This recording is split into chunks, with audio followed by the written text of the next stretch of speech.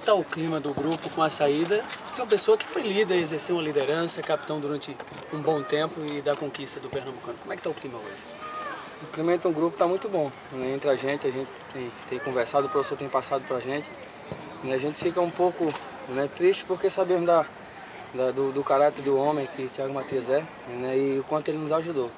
Mas futebol é assim, né? a gente tem, temos que seguir, cabeça, cabeça erguida. Né? O grupo está tá focado né, no trabalho, né, na, no jogo de domingo, porque sabemos que vai ser um jogo muito importante para a nossa classificação. Como vai ser então é, esse jogo sem, sem o Wesley, que é um jogador importante desse time do Santa Cruz, principalmente para vocês que, estão ali na marcação no, no meio campo? O grupo vem, vem jogando né, e dá um entrosamento melhor. Né? Então não só o Wesley, como é, Leandro também, Dutra.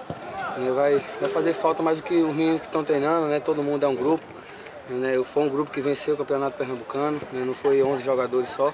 Né? Todos que, que, que entravam supria né, aquela a carência ali na, na posição. Então, os, que, os, os, meninos que vão entrar também vão dar conta do recado e, para se Deus que a gente possa ir com um bom resultado no domingo. O grupo está buscando aquela pegada do Campeonato Pernambucano, deu uma largada nisso?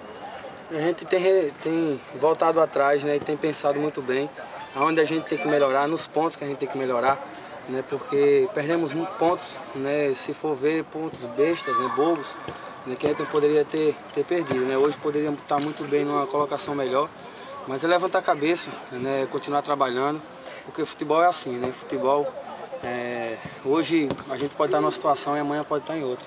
Né? Então domingo, na segunda-feira, domingo depois do jogo, na segunda-feira vamos estar com a cabeça melhor, se Deus quiser. O Santa vai jogar em casa, né? Precisando da vitória também para recuperar a liderança, mas o Porto também com a última vitória criou uma esperança, né? Então tem que tomar cuidado também no ataque do time de Lana.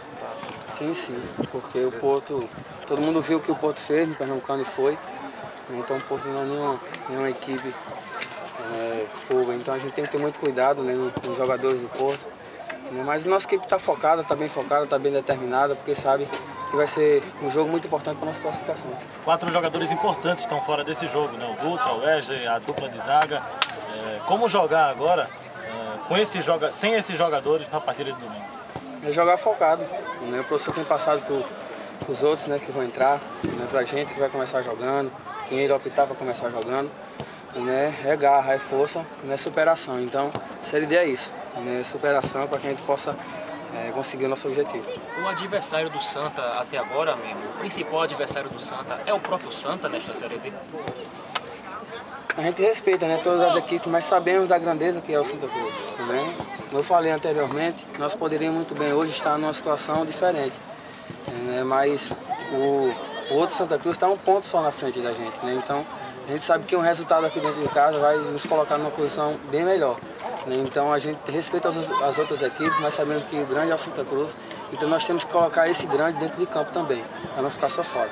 O torcedor fica naquela apreensão, é, lembrando da campanha do passado, do ano passado e também de 2009.